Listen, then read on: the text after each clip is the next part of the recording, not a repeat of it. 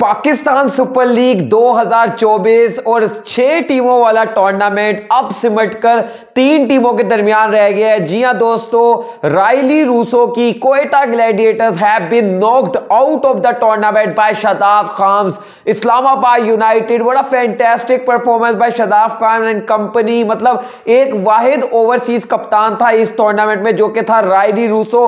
Bill आखिर आज उसकी टीम भी टूर्नामेंट से बाहर हो गई है और क्या जीत हासिल की है। इस्लामाबाद यूनाइटेड ने और आज इस्लामाबाद यूनाइटेड ने हर उस बंदे को गलत साबित कर दिया, जो लोग ये समझते थे कि इस्लामाबाद लव टू चेस। मुझ समेत मैं भी ये कहता था कि इस्लामाबाद यूनाइटेड जो वो रन चेस पसंद करते हैं, लेकिन in that all important match एक ऐसा क्रूशल मैच जो कि नॉकआउट मैच था, वहाँ पर शादाब खान ने टॉस जीतने के बाद कहा we will bat first and how well they batted today मतलब आज अपना ओपनिंग कॉम्बिनेशन चेंज करना पड़ा इस्लामाबाद यूनाइटेड को। क्योंकि कॉलन मनरोज मनर्स जो थे, जो कि इस टूर्नामेंट में बेहतरीन फॉर्म में थे, आज अवेलेबल नहीं थे तो एक और न्यूजीलैंडर मनर्स की एब्सेंस में एक और न्यूजीलैंडर को इंक्लूड किया, और वो थे मार्टिन जी मार्टिन गफ्टेल क्या बैटिंग की इस बंदे ने? ऑल बहुत कोई एक फैंसी इनिंग्स तो नहीं खेली, कोई तकरीबन छियालीस गेंदों पर छप्पन रनों की इनिंग खेली, लेकिन एक एंकर इनिंग खेली जिसने इस्लामाबाद यूनाइटेड को मदद की मनरो की इनिंग के ईद गिर्द जो है, वो सलमान अली आगा ब्रिलियंटली यार मतलब Salman Ali Agha find of the tournament है। मैं तो यहाँ पर ये वाली बात कहूँगा कि one of the find of the tournament आप सलमान अली आगा को कह सकते हैं। किस तरीके से इतने रेवोल्यूशन की है अपने कैरियर में? कहाँ से from a test cricketer now a T twenty cricketer या ऑल फॉर्मेट क्रिकेटर कमाल की बात है और आज़म खान मतलब आज़म खान ने एक कैमियो खेला आकर जिस तरीके से वो आया है बैटिंग करने के लिए, छह गेंदों पर अट्ठारह रनों की इनिंग खेली। हर किसी ने चिप्ट इन किया, लेकिन एक समय पर इस्लामाबाद यूनाइटेड लग रहा था कि यार मतलब ये तो जाएँगे अनस्टॉपेबल बन जाएँगे और जाकर दो को टच करेंगे। लेकिन वहाँ पर कोयटा ग्लैडिएटर्स के गेंदबाजों ने कम किया। आज आमिर, मोहम्मद आमिर के हवाले से मैं बात करना चाहूँगा। अनफॉर्चुनेटली मतलब यार, आमिर के लिए मुझे अफसोस हुआ इस वजह से कि आमिर ने बहुत कमाल की बॉलिंग की, लेकिन अनफॉर्चुनेटली उनकी टीम ने उनका साथ नहीं दिया।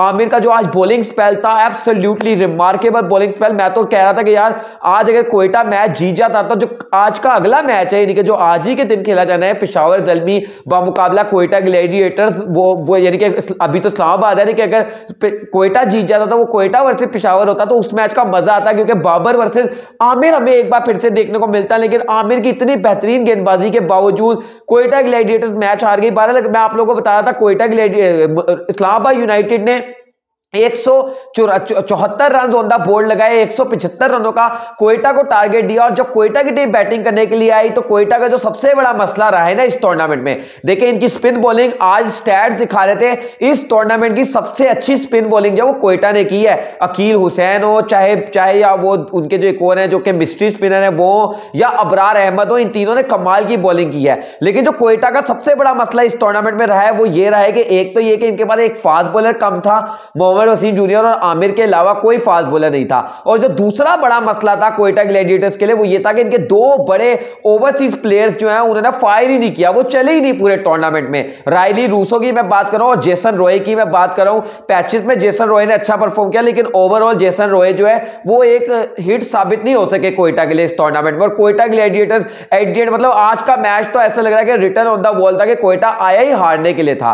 कोयटा ग्लैडिएटर ने पावर प्ले के अंदर पाँच विकेटें लूज कर दी और मतलब जब एक टीम पीएसएल की तारीख में आज तक कभी ऐसा नहीं हुआ। मैं आपको ये बता दूँ कि पीएसएल की हिस्ट्री में कभी ऐसा नहीं हुआ कि कोयटा कोई भी टीम जो है वो पावर प्ले में पाँच विकेटें लूज करे और उसके बाद मैच जीत जाए। और आज भी ऐसा नहीं हुआ कोयटा ने पाँच विकेटें लूज की और मैच को भी लूज किया। अनफॉर्चुनेट रहा कोयटा की तरफ़ से। मतलब कहीं ना कहीं व्यूवर जैसे मैं आप लोगों को रेगुलर बताता आ रहा था कि जिन टीमों के कप्तान बदतरीन परफॉर्म कर रहे थे, वही टीमें भी बदतरीन परफॉर्म कर रही थी। और आज आपने देख लिया कि Rilee Rossouw out of form थे तो उनकी टीम भी आज टूर्नामेंट से बिलाखिर बाहर हो गई। उससे पहले शाइन शाह फ्रीदी और शान मसूद की टीमें बाहर हुई। आज राइली रूसो की टीम बाहर हुई और अब जो आज का मुकाबला है, वो है बाबर आज़म बा मुकाबला शादाब खान। बड़ा मुकाबला है। आज का मैच जो जीतेगा, वो खेलेगा पीर वाले दिन।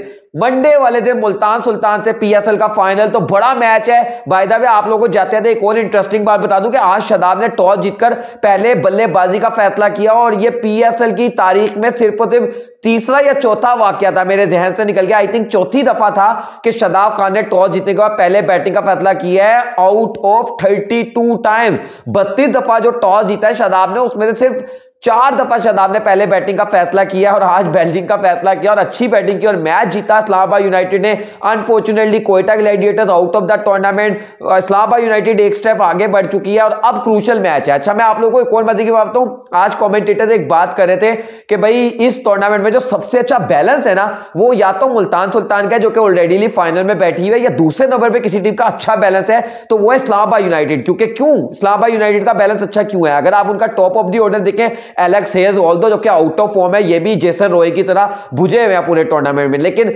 कोलन मनरो थे, वो गए तो आज मार्टिन गप्टिल है, उन्होंने अच्छा खेला। बीच में जो इनके ऑलराउंडर थे, फहीम अशरफ शदाब खान, इमाद वसीम वो कमाल के। और भाई द वे याद आ गया मुझे आज इमाद ने भी क्या बॉलिंग किया मतलब आज वो दोनों जो कि मुझे अच्छे नहीं लगते हैं, मोहम्मद आमिर और इमाद वसीम दोनों ने अपनी अपनी टीमों के लिए बहुत कमाल की बॉलिंग की इमाद वसीम ने अपने चार ओवरों में तेरह रन देकर तीन विकेटें ली हैं मतलब इतनी कमाल बॉलिंग की है। तो बाद कॉमेंटेटर जी कहते हैं कि इस्लामाबाद यूनाइटेड का बैलेंस इस टूर्नामेंट में अच्छा है और कोयटा सॉरी मुल्तान सुल्तान का बैलेंस अच्छा है। लेकिन मैं यहाँ पर एक बात करना चाहूँगा कि पिशावर जलमी जो है ना, इस टूर्नामेंट में फिर भी एक बड़ा थ्रेड है। वो क्यों है? क्योंकि पिशावर जलमी का एक तो कप्तान इन फॉर्म है, बाबर आज़म खुद रन बना रहा है। और नंबर टू ये कि पिशावर जलमी का ये खासा रहा है कि आप माजी में भी उठा के देख लें, पिशावर हर टूर्नामेंट में अच्छा करता है। और किस वजह से करता था?